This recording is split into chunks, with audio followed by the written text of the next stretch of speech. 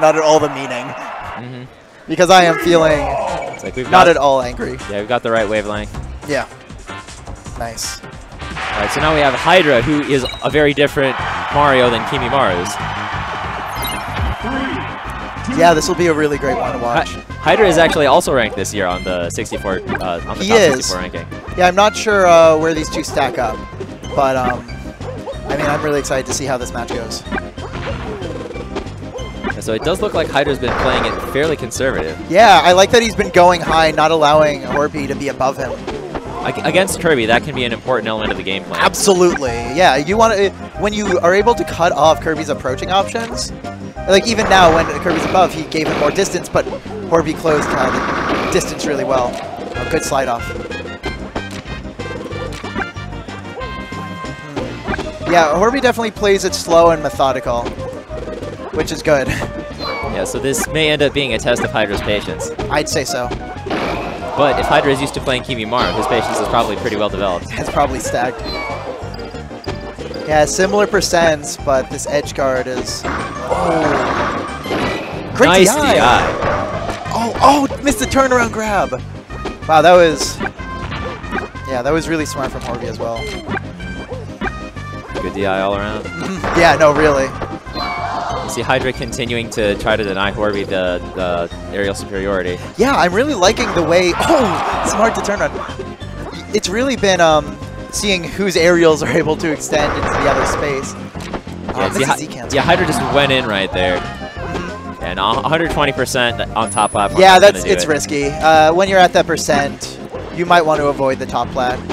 But um, really good from Horbie to follow up. I, I do remember from the few times I encountered Hydra and Kimimaru in bracket that Hydra tends to be more aggressive than Kimimaru. And that's going to hurt in this matchup, unfortunately. It's the patient play that really pays off in dividends. Wow. Yeah, Horbie, like Slight- I said, yeah. demonstrating very good awareness of his opponent. Yeah, for sure. great percent. Hydra did overextend a bit with that down air, but, um, you know, Horbie's just got a great read. Reverse back air will put Hydra on the board. Yeah, this one stock, though, uh, can prove to be very frustrating for Mario. Or many players. Like that's that's that's what Kirby does. Like fighting fighting Kirby is fighting against the grinder in many senses. For sure. But there are some characters that could just close that stocks a little bit easier, or neutral isn't as affected when you're behind. Um, with Mario, you really have to pick your openings. That is true. When, when you have when you have to approach against Kirby, that- Exactly. that's when uh, It's that's just- when things are. It's hard to be, again, conservative and also behind. It's very tough. Well, he's got about five minutes with which to do it. Yeah, but like you said, if he's the more aggressive one, I doubt he'll use, you know, Yeah. too much of the time. It seems doubtful that we'll actually get to that point. Yeah, exactly. It's the first stock is always, you know, like that's the start of the second stock is where the test really starts to, you know, come together. When they've made some adaptations, are you going to be uh, really frustrated or are you going to be like, you know what, it's fine. I got all the time in the world. You want me to come in, but I won't. Oh, More great DI by Hydra. He's DIing Yeah, really. those down airs like Off down and flat. away. and it just makes it so much harder for Horbie to uh, follow up. And that's the difference we see as well. Um, Horbie still uh, needs to react, whereas um, Fukuro just has a bit more of a read on uh, where they're going to DI. Oh, great answer. There we go. Catching uh, Horbie's attempted landing. Yeah, that that is the sort of up smash that is typically a good sign for Mario mains. Mm-hmm. But he's probably going to need another two or three of those if he wants to, ta uh, to take this game home. Well, Hydra's he's- playing definitely patient though. Oh yeah, he's he's not he's not being reckless. No, I, I mean he got caught with that there. And this Oh, this could okay, okay. not quite. Didn't time the invincibility. But like two or three Mario downers off stage, and that could spell the end for Professor Yeah, Kirby. absolutely. It was one more, and then uh, just taking care of the up B, and that would have been a stock. Looks like maybe he's going for the ledge cancel. Yeah, I think so. Oh, he gets the one hit. Oh no! And I am That I- was very good. I think that was actually intentional to go all the way down, or at least to, to start the up B. I, I don't think he meant to fall all the way down originally, but he definitely timed his up B. It wasn't a desperation up B. He knew where the hitbox was going to just come out while he can still sweet spot. I, I do agree with that. Mhm. But I'm that doesn't answer my question about what Hy- Hydra was doing with that down B. That's fair. My Yeah. guess is that he hit B instead of A. Yeah, you going for um, a down tilt down smash? Yes. Yeah. That that is what I would suppose because that unless he was going for super swag, which yeah, which I sort of doubt. Not in D1. Not in D1, not from this player. Not against a Kirby. so unless he was going for super swag and he was trying to get a butt spike, I, I doubt that that tornado Yeah. was intentional. Well, that was a great game one. Yeah, so game two, immediately we see Hydra sticking to that game plan of trying to deny Horbie the air. Oh, but then Horbie sneaks in the ground. Yeah, but it, it doesn't look like Corby is used to fighting floaties because he's uh, he's not managing any follow-ups off of uh, off of the clown foot, off of up tilt. Oh, I see. I like that. He's got big clown shoes to fill. Oh yeah.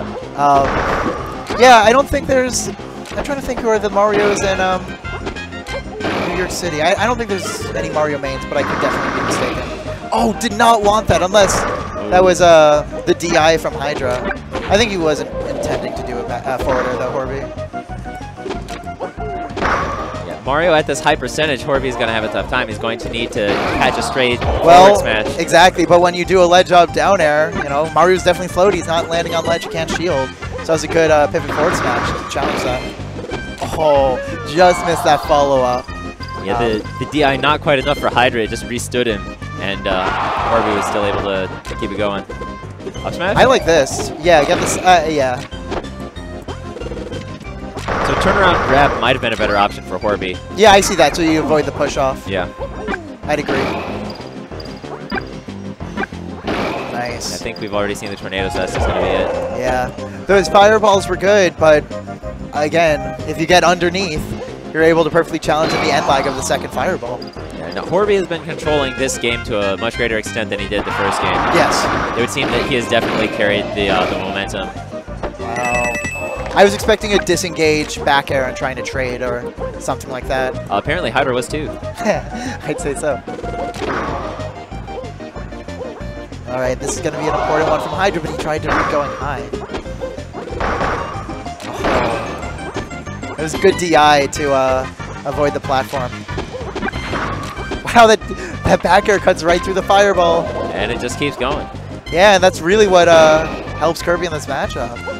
Those long limbs. Nice. And the drift back from Hydra is what allowed him to avoid Horbie's attack and set up for that up smash. Oh, it's really the uh, micro spacing that really gets you in those big moments, the do or die. Yeah, Hydra going low there. I'm Mhm. sort of surprised to see that he was trying to come from underneath against Kirby. Yeah, me too. Horbie definitely reacted to that low. Great DI.